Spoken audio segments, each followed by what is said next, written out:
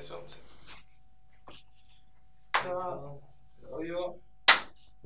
Suena. Bueno, Somos dos, arrancamos en el 2011 con quien hoy es mi socio, pero de, a los, de los 6 a los 14 fuimos mejores amigos,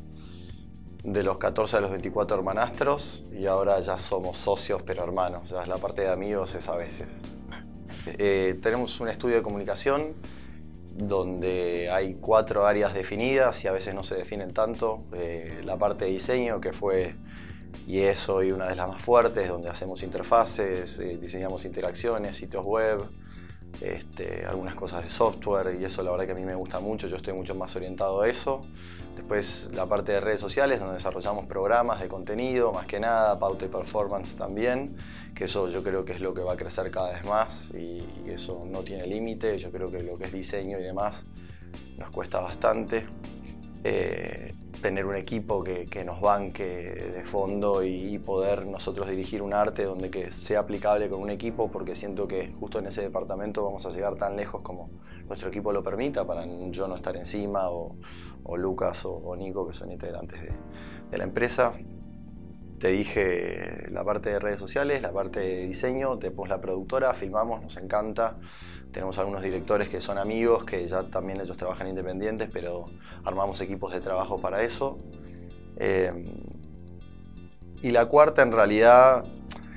diseño en realidad lo dividíamos antes en lo sitio web, ahora ya lo meto en diseño, pero justo hemos hecho muchos sitios web en un momento donde no había nadie que hacía sitios web y podía cumplir, entonces es, ya sería como una entidad aparte lo que es la parte de lo que es web. Eh, que yo hoy ya diría que somos tres esas, esas, esas, ramas porque ya web lo meto en la parte de interacciones e, e interfaces. No, sí, eh, digitalizarnos. Nosotros estábamos cómodos, teníamos poco cliente con, que nos pagaba bien, eh, no teníamos que laburar tanto, estábamos haciendo producciones, creíamos que por ese lado iba a estar bueno, haciendo eventos, nos gustaban mucho los deportes de acción, a, a mí, a mi socio y un grupito que nos movíamos para hacer las cosas. Pero nos dimos cuenta que no nos iban a seguir contratando por eso y solo se empezó a dar que, si bien tanto mi socio como yo tenemos como un ojo muy sensible para algunas cosas, eh, dijimos, bueno, empezamos a mirar referencias de agencias digitales de afuera que nos encantaba lo que hacían, también filmaban, no, no necesariamente tenías que ser una agencia tradicional de publicidad para hacerlo.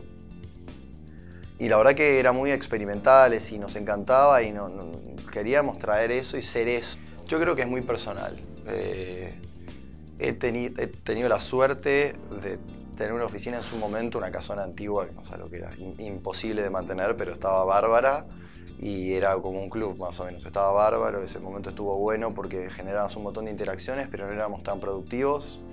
Hoy por hoy estamos en una oficina más chica y somos el doble de productivos y hemos laburado desde casa y yo, por ejemplo, yo creo que la personalidad y el ADN de tu empresa va a dictaminar si estás capacitado para eso. Yo, por ejemplo, trabajo con programadores que laburan en cualquier lugar del mundo y no les importa nada abrir la laptop desde Kuala Lumpur o acá y manejar sus horarios. Yo eh, necesito, trabajamos mucho con el cerebro y necesito tener el cerebro conectado, yo necesito escuchar el tono de voz de una persona, porque a veces cuando, si bien somos un estudio de comunicación, hay mucha creatividad en el medio, entonces yo siento que a veces en la pantalla, en WhatsApp o en los softwares de interacción o en Slack o lo que Telegram, se pierden algunas cosas. Y, y, la escena también del call, del conference call, está muy buena con clientes para cosas específicas, pero en la red diaria, en la narrativa, sobre todo en un país tan complicado como este, que tenés que tomar decisiones rápido, que las cosas pasan y demás,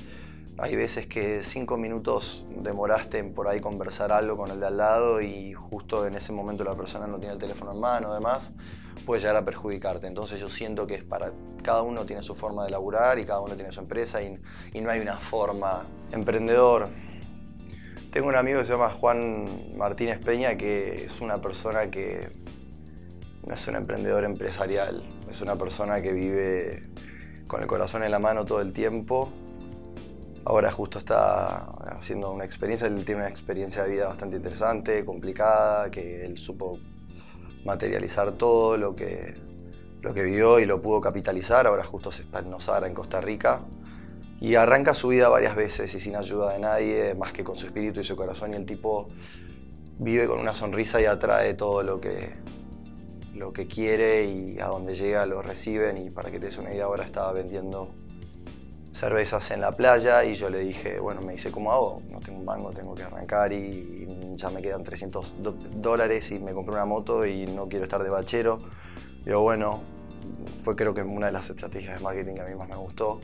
que a la heladera de él que ponía beer 200 colones y le, le dije, pone free hugs,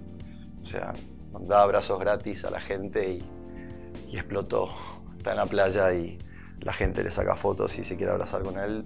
por la buena vibra que tiene él y porque todo lo consigue. Y ser emprendedor no significa tener un montón de plata y independizarte de tus padres y independizarte del resto, sino ser emprendedor es hacer lo que a uno le gusta y llevarlo hasta la muerte y no vivir a costas de lo que la gente y el resto cree que hay que hacer. Entonces el gato Martínez, Juan, es mi emprendedor preferido porque él emprende lo que dice su corazón 100%, sea monetizable o no. Y al final siempre llega a donde quiere llegar sin necesidad de tener la plata o no. Ya con lo justo del video bien es mucho más feliz que muchos emprendedores de nosotros que nos hacemos problemas.